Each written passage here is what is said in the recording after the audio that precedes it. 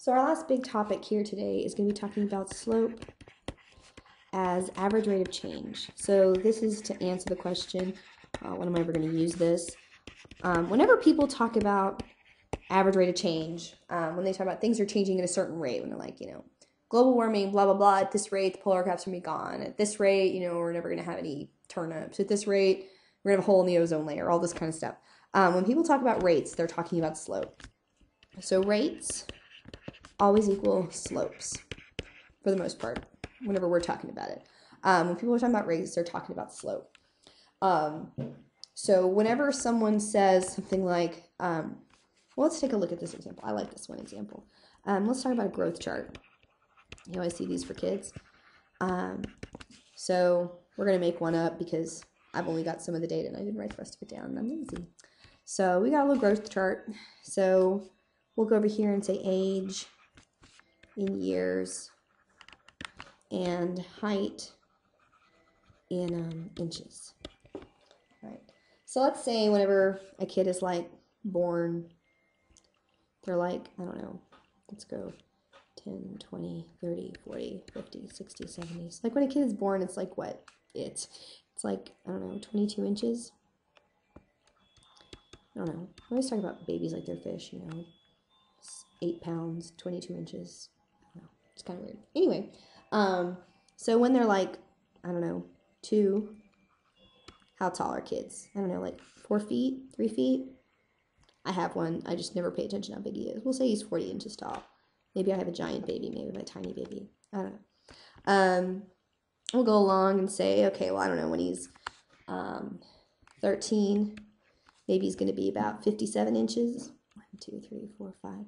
So he's going to be about 57 inches. And um, say by the time he gets to be 18, he's uh, 70, I don't know, 76 inches. Is that super tall? One, two, three, four, five, six, seven. We'll go 72 inches. So that's six feet? Slightly less, slightly more? I don't know. What's six feet times 12?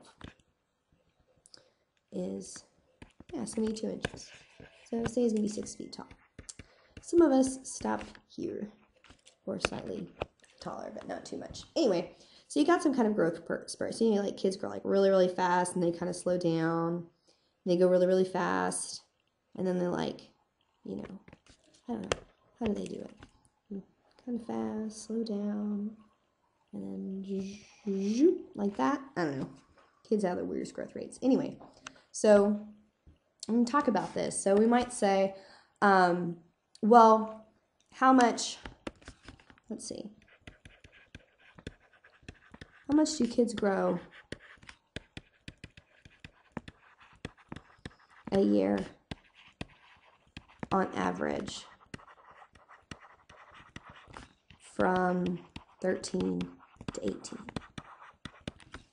So, how much do kids grow a year on average from 13 to 18? So, if you're thinking about this, well, how much did he grow? Um, this little kid, he grew, let's see, he was 72 minus 57. So he grew 15 inches in how many years? In five years? Did I do that right? Doesn't look right. I guess that's right. So if he grows 15 inches in five years, that means he grows about how many inches a year? Probably saying about three inches a year. All right. Believe it or not, this is a slope. It's also a rate. Um, I'll write that in a second. Um, so three inches a year. So the rate, the growth rate, you might say, the growth rate from 13 to 18 is three inches a year, right? The growth rate from 13 to 18 is three inches a year. And like I alluded to, this is all this is actually a slope. So what we want you to do is start thinking about where these come from. So the idea is, you know, he might grow really, really fast or really, really slow for a while, but on average, he kind of follows this line going from here to here. So what we've actually done is found the slope of the line from 13 to 18. So what we can do is we can say that the rate of change, rate of change, ROC, rate of change, is actually the slope. It's actually y2 minus y1 over x2 minus x1. Isn't that kind of neat? Um, if you're curious, this line is called the tan, not the tangent line. This line is called the secant line. If you get into calculus, um, you'll be talking about that a lot. Um, but the rate of change is actually just a slope. And you did it and it made perfect sense before, you know, you put any math to it. You can do it instinctually, I think.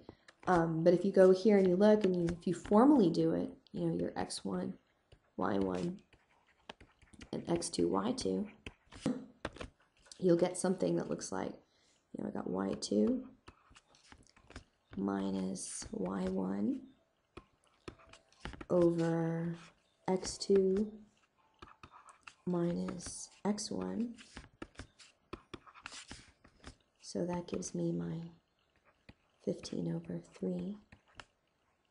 Can I not divide? Yes, I cannot divide. 15 inches, 18 for 13. That's what I did wrong. Thank you. Got to freak out. 18 over 13. So 15 over 5 is 3, right? So the slope, the rate of change, is a rate, a growth rate. Okay? See any connection? We actually do similar kinds of stuff. Um, well, let me let me take you back for a sec because I do want to mention something. Whenever people talk about rates of change, you've got to be really careful because it depends on the data that they're looking at. So, for example, if I wanted to be stupid and annoying and try to prove some kind of a point, if I was trying to make the argument that this kid was going to be, you know, 90 feet tall by the time he was 18, I could do it very easily because I could say, well, if I compare the growth rate from here to here and I draw my growth rate, well, look at my growth rate. It's just going right through the, you know, through the curves. By the time he's 18, he's going to be like 900,000 feet tall, right? And that's obviously completely ridiculous. So, um, whenever people talk about growth rates, you've got to be careful when they talk about any kind of a rate. You've got to be careful because you've got to understand where their data is, where they're getting their data from. You know, say, well, what are you, what kind of a range are you looking at? Because you can see here, 18 to 13, you kind of done a decent job of, you know, estimating how that goes along. But you know, you could obviously see that depending on which one you pick, you know, you could be just going nuts. So, um, just you know use your brain whenever people talk to you about math and don't just assume that they know what they're talking about because they're using you know words like rate of change here's another example that might help pull it together and uh, and make it all perfect for you um, think about um, say you're driving and um, this is your hours driving. Um, say one two three.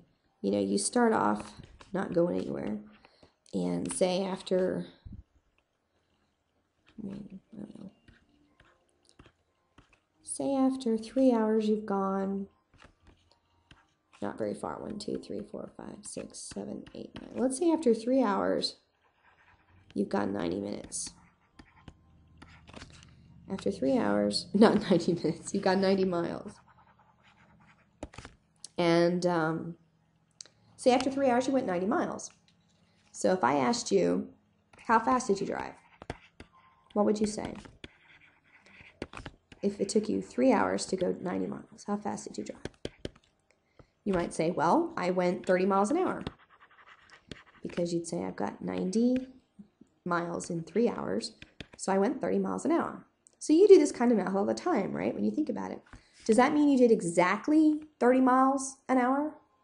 Well, no, probably not. You probably, you know, maybe you start off really, really fast and you got spooked and you kind of slowed down. Maybe you make pit stop and then you started to speed up again and then you slowed down and you speed up again and slow down. But it doesn't matter because on average, on average, you went 30 miles per hour. This is your average rate of change. Right? This is your average rate of change. You went from zero, zero, zero hours and zero miles to three hours and 90 miles. So you can do the same thing x1, y1, x2, y2. And you can get you can get a slope.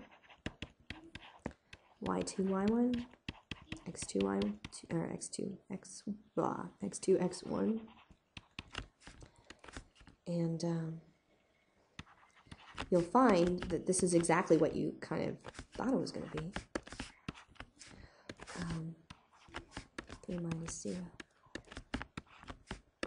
So that gets you your 90 over 3, or 30 miles per hour. You see that? Okay, so I mean that doesn't mean much. I mean you can go in here and say, oh, at the, you know, you know, right over here I was, you know, I was going certain rate, right over here I was going a certain rate, right over here I was going a certain rate, or I can travel to a certain distance.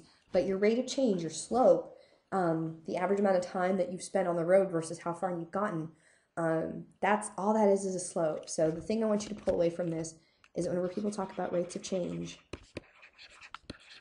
what they're really talking about is is slope.